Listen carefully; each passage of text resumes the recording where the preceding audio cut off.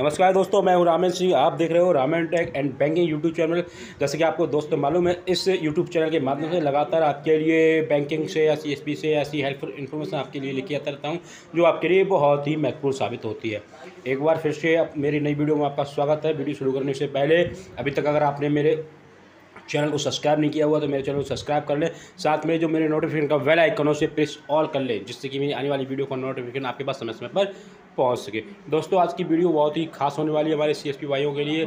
जैसे हमारे पुराने सीएसपी भाई हैं, वो तो जानते ही हैं सारा कुछ, हमारे सिस्टम में क्या होता है, कैसे होता है। लेकिन ये वीडियो खासतौर से उनके जो नई सीएसपी चला रहे हैं तो उनके लिए आज मैं आपको ये बताने वाला हूँ। बताने वाला हूँ, यदि वो जिस तरीके से अपना A P S office transaction करते हैं, पहले तो आप जान लीजिए ऑनेस्ट ट्रांजेक्शन ऑफ़िस ट्रांजेक्शन क्या होता है? ऑनेस्ट ट्रांजेक्शन वो होते हैं जो आप जैसे अपना सी एस पी का पोर्टल चला रहे हो और सी एस पी के अकाउंट से आप लेन देन कर रहे हो, आधार कार्ड से तो वो होता है ऑनेस्ट ट्रांजेक्शन ऑफ़िस होता है जैसे आप कैनरा बैंक का H D F C bank का या अदर बैंक का जो हम पोर्टल यूज़ करते हैं अदर बैंक का हम जो पैसा निकालते हैं, उसे कहते हैं ऑफ़िस ट्रांजेक्शन यदि हम उसमें क्या होता है, आज मैं बताने वाला हूँ कि यदि आप ऑफर्स ट्रांजेक्शन करते हो और आपका ट्रांजेक्शन फेल हो जाता है और या आपका ट्रांजेक्शन सक्सेस होता है, उसकी आप रसीद नहीं निकाल पाते हो तो दोबारा उसे रीप्रिंट कैसे करें?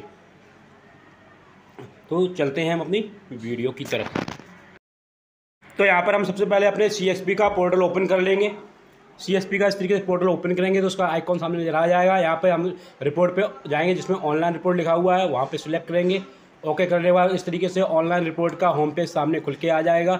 इसमें काफ़ी सारे ऑप्शन दे रखे हैं। कस्टमर की डिटेल के बारे में जानना चाहें ट्रांजेक्शन के बारे में जानना चाहते हैं तो इसमें हमें देखना है रिप्रिंट करना है तो जाना E P S offers transaction पे। तो नीचे आप स्क्रॉल थोड़ा नीचे करेंगे तो उस पर आ रहा होगा ए पी एस ट्रांजेक्शन का। वहाँ पे तो A P S offers success transaction आ रहा है, वहाँ पे ओके कर देंगे ओके करने के यहाँ पे हमारा डेट मांगेगा कि आपने कौन सी डेट में ट्रांसफ़र किया है।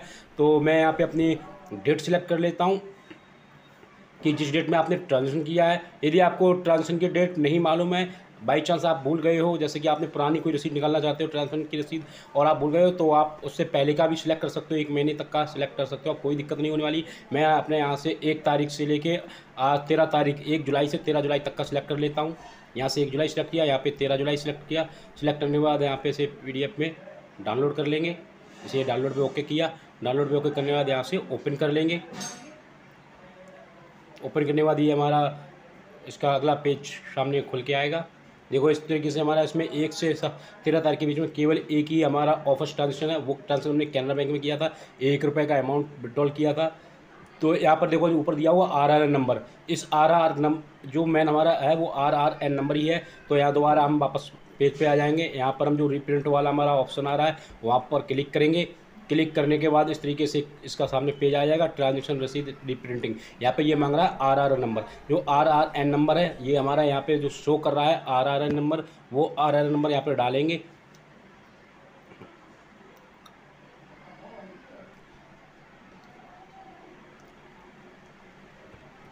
यहाँ पर हमने अपना आर आर नंबर फ़ीड कर दिया, उसके बाद यहाँ पे सबमिट कर देंगे।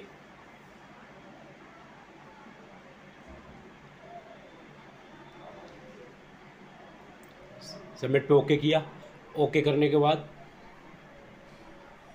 देखो इस तरीके से हमारी ये डुप्लीकेट रसीद इस पर आ चुकी है, इसमें लिख के आ चुका है। S B I banking duplicate रसीद।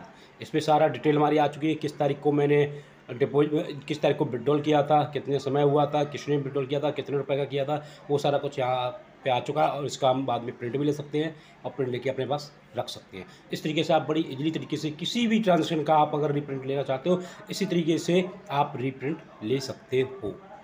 यदि आपको वीडियो पसंद आई हो तो एक लाइक करें कमेंट करें इससे ज़्यादा इस वीडियो को शेयर करें, जिससे कि हमारे नए सी एस भाइयों को दिक्कत ना हो, उन्हें समझने में प्रॉब्लम ना हो। Thanks for watch